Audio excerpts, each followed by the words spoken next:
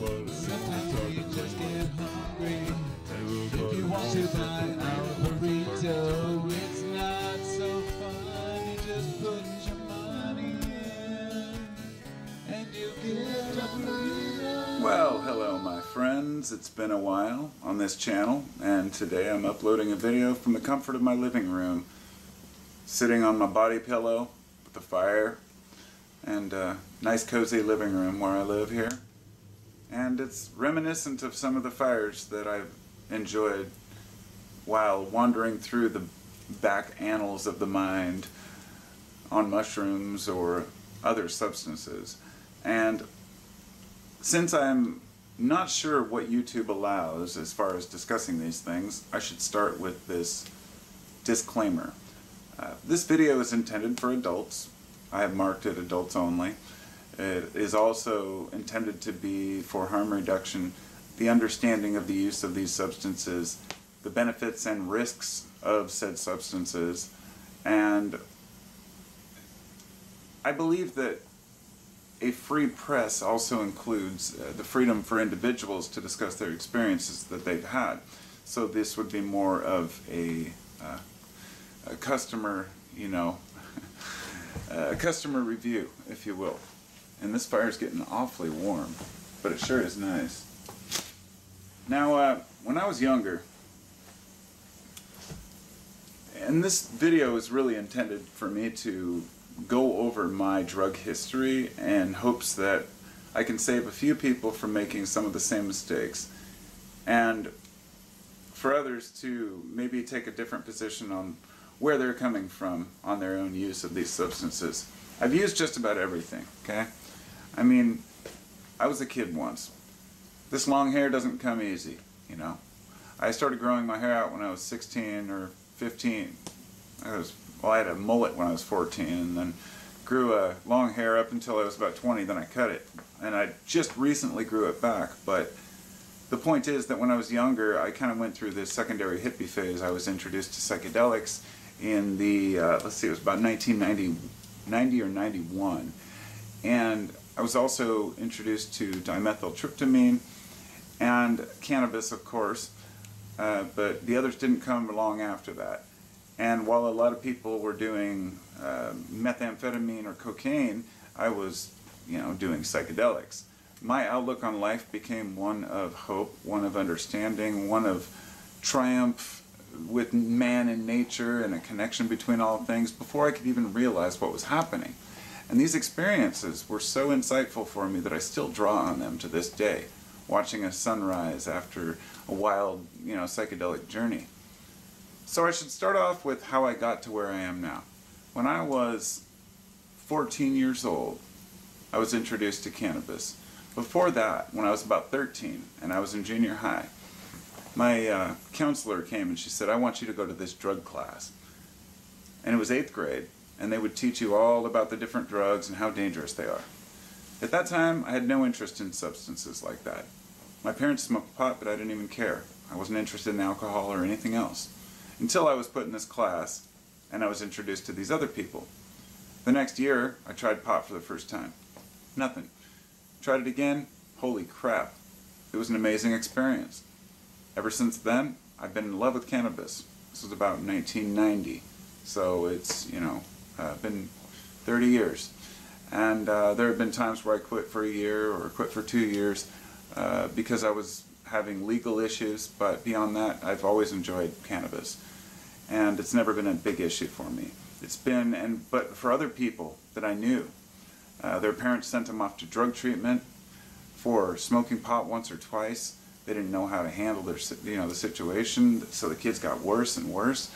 And um, so, once I was introduced to psychedelics, it changed my mind forever. I mean, I took them when I was maybe 15, 16, we got a hold of these, you know, LSD, and we took about three each. And then there was a time when I took six of these really strong tabs. It was about when I was about 19.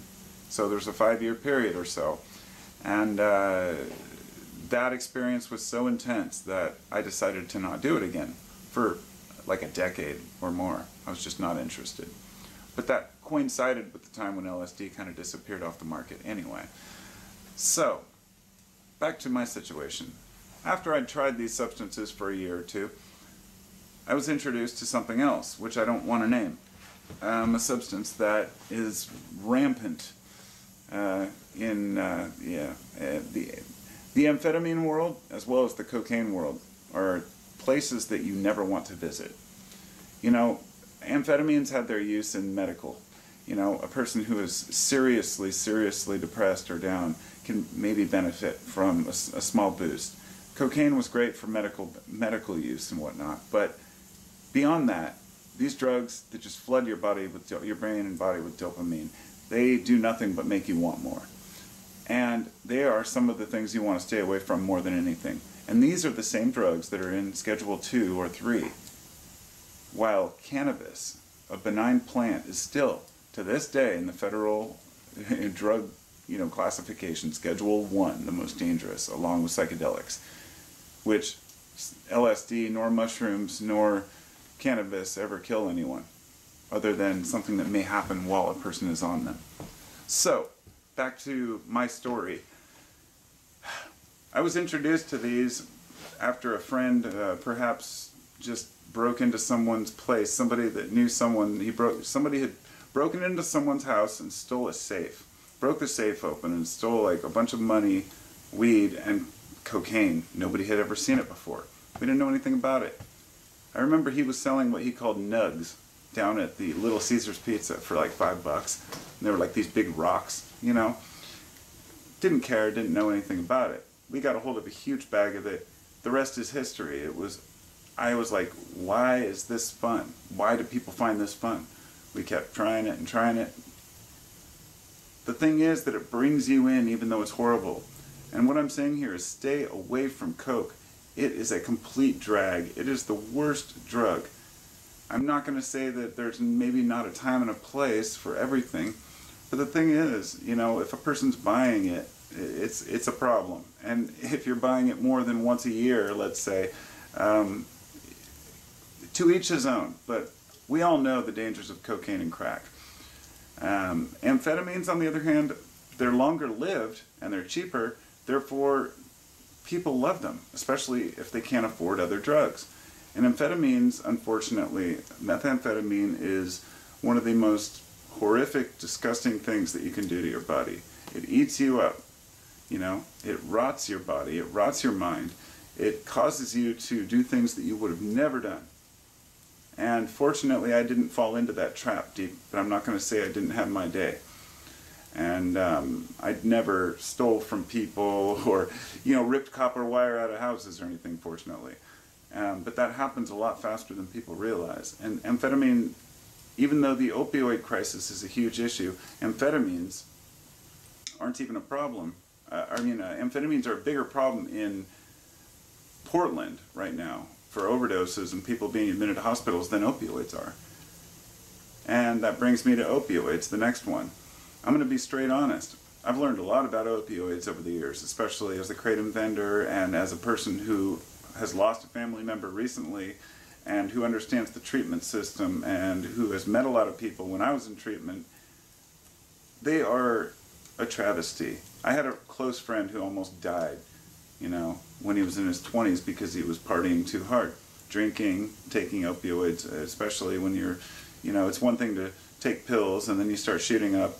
Well, some of these um, combinations can just be so much more addictive than even heroin. You know, taking large OxyContin doses is, you know, what led us into this crisis. But it's a modern crisis. It's a repeat of what's happened in the past.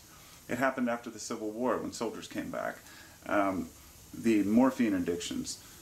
So anyhow, the blame is everywhere, but the addiction is there. Is the point. I wasn't really introduced to opioids in my teen years, and I'm so grateful. I remember trying trying it with one person once. I remember taking Vicodin a few times. I remember smoking H once with some dude that I knew, and that was when I was in my early, early I think 20 or so.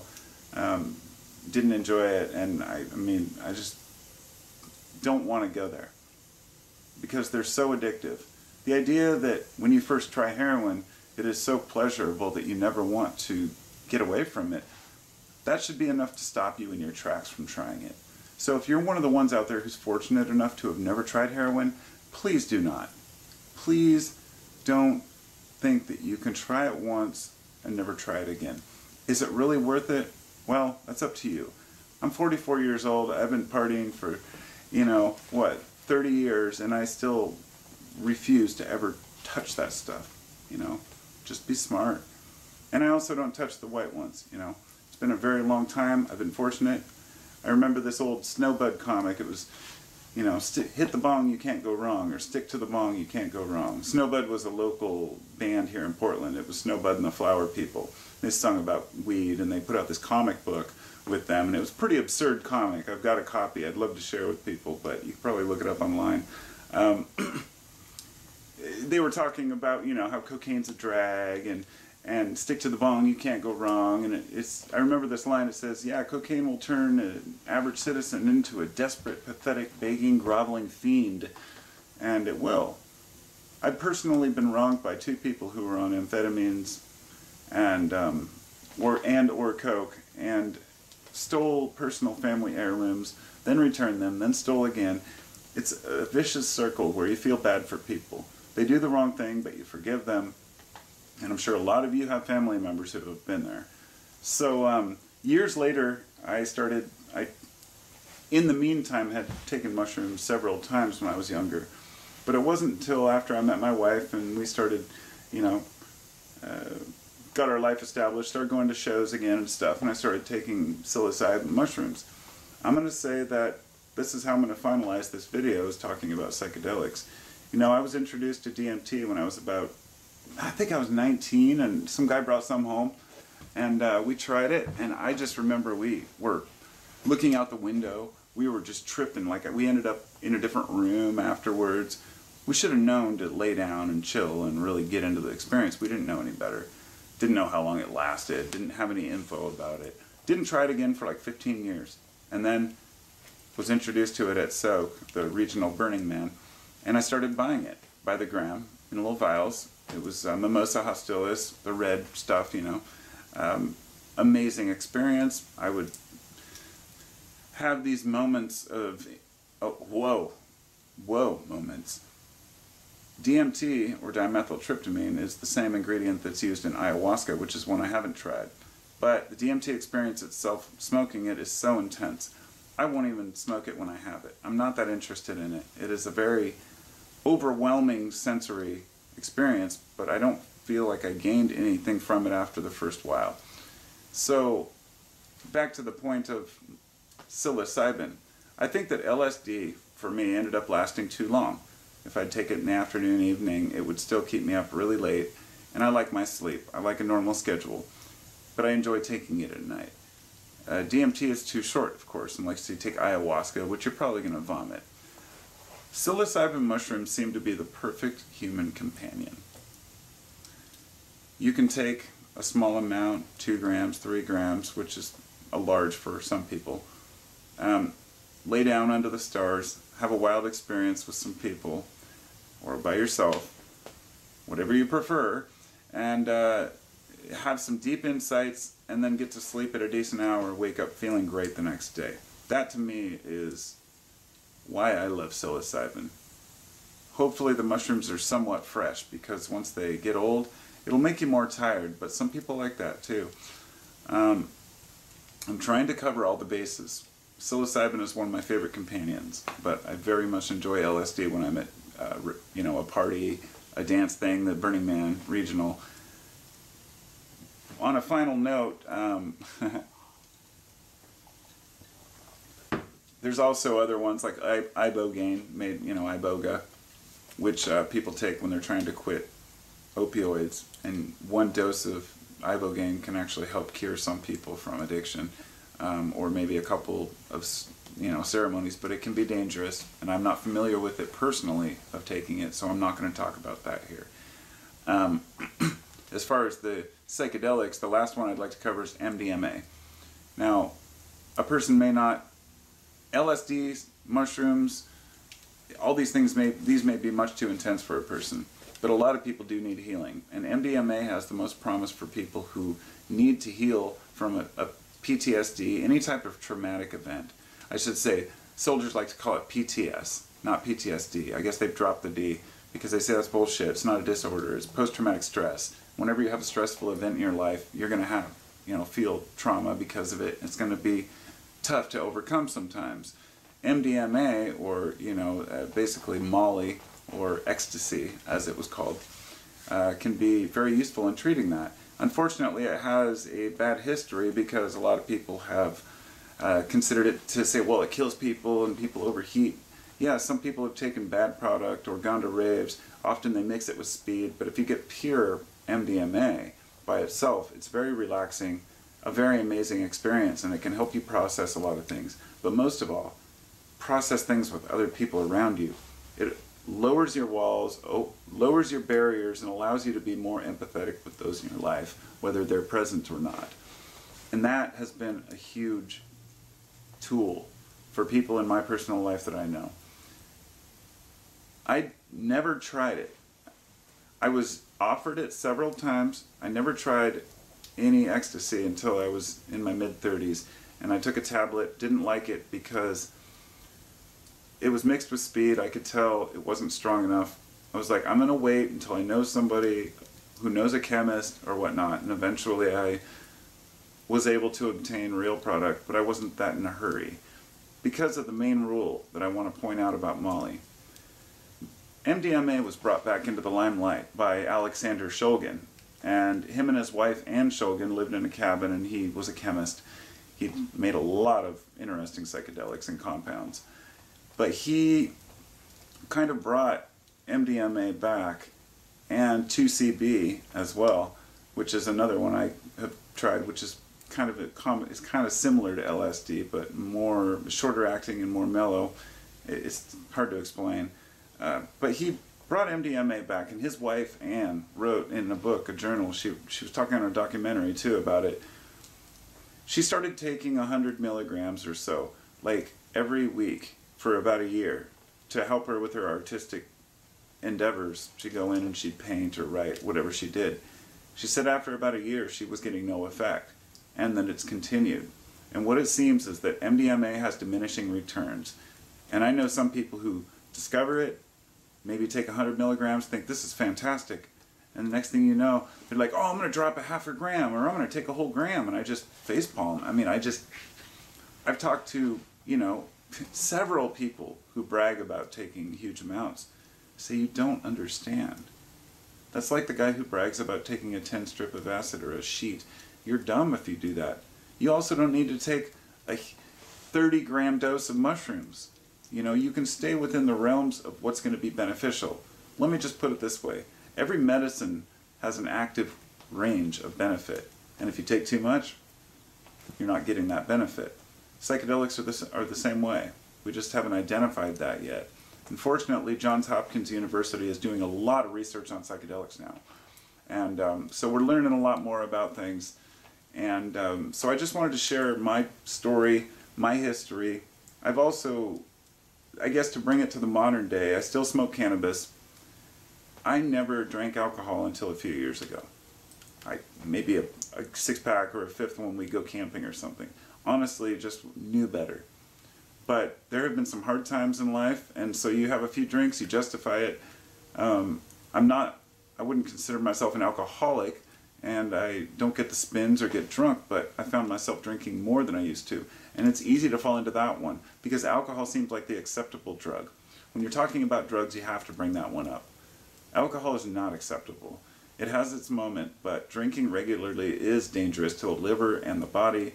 Several, you know, there, there's no way to, no way shape about it, you know. Um, and especially when you're mixing it with pharmaceuticals, which is something that I've seen with people.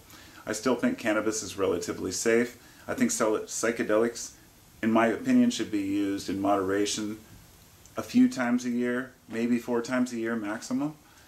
And um, I think once a person's had a breakthrough on psychedelics, they tend to want to go, wow, and try that again. But eventually, you're just, you've seen what you need to see. And then you just need to re see it. Once you've learned a lesson, all you have to do is kind of reread that book, and that's how I feel about tripping again. It's like, oh, okay, yes, we are all one. Everything is connected, and it doesn't matter the, the haters, the doubters about existence and, and why, you know, purpose of existence. You find yourself just not caring about that. You like, it's very difficult to explain until you've been there. But um, and I'm not talking about God or religion here. I'm, it's something much deeper than that. Um, you see that universal bond in a way that you can't explain in words, and uh, I'll leave it at that. So that was useful for me, and today I keep it cool. Now that cannabis is legal in my state, Washington, I'm lucky. Um, you know, we just do what we do. Try not to use too much, and I would say just be smart. Don't use too many drugs my camera's about to cut off, so I better get going here. And uh, thanks for watching. I'll talk to y'all soon. Be safe. Be safe. Peace.